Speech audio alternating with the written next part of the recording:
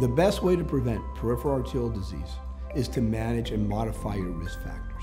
So this would be not smoking, this would be watching your cholesterol and controlling your blood pressure and controlling and managing your diabetes.